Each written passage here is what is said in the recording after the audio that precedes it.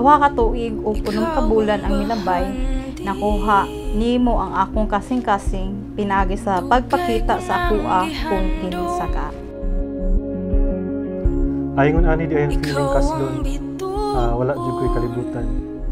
Dili jud ko sanay mo tindog atubangan sa kalibutan. Pero ani ako karon atubangan nimo akong kalibutan. Maski niabot ko aning edad, naagi happy first time. Mao na ni ang uh, realidad ko. Mutuo ka og sa dili ah, first time na ako kaslon.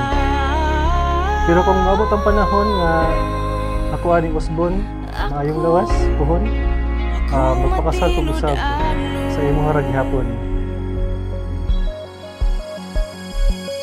So nag ah, una na mo ah, ila-ila sa Facebook jud nag-say hi siya sa kuha ako ning balos po ko. Um, nakita na ko sa FB, then ni message ko yan, ni wave ko. so sa wadama ni, ni, ni wave back to dyan sa kuha. So, ma mato, sulod-sulod ko yung mga dates dayon hangtod sa po formal ko ng nguyab niya.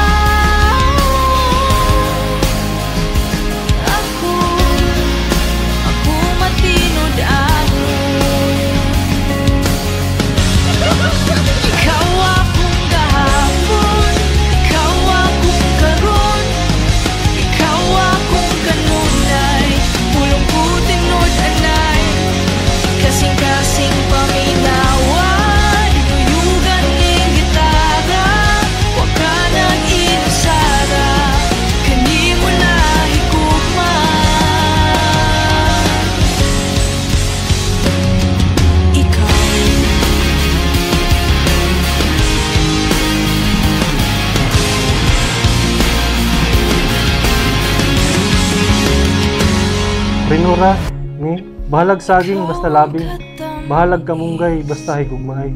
Bahalag ang sudan ginamos basta ang gugma gaur puro. Tamis nako na higugmaon ti ka kutob sa akong ginawa. Wala la emotional ako karon kay kuan mo good kanang karon nang adlaw wala mag-expect na karong adlaw mi mag ano mag kaslon ba din kuan mo la bukuan pa medyo ko kanang mo abroad niya okay man sila na magbinyo ko so mo to napadayon ni ani. Lugay naman niya gingan sa kuan na before ko mo abroad is sawa sa gawin mas pisa. Walang good ka na. Wes manana pero ni okay man si Papa gusto niya simbahan. So di pa nagkamutan na mo niya mo kasal. Ano to Ikaw akong gahapon,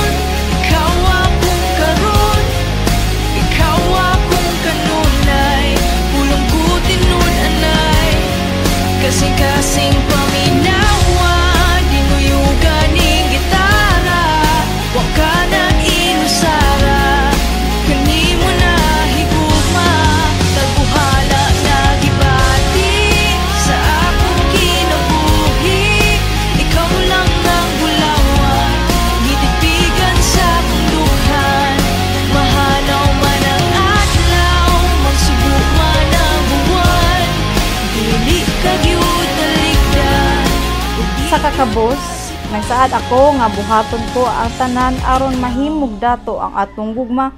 Ug sabahan di nga dili gyud pasagdan nga mamobre ang atong gugma. Ipasalig ko nga higugmaon ka nga walay kondisyon. Hatagan ka og kadunggan matag adlaw ug gipasalig ko nga higugmaon ka hangtod sa hangtod ug sa kahangturan. I love you always, De.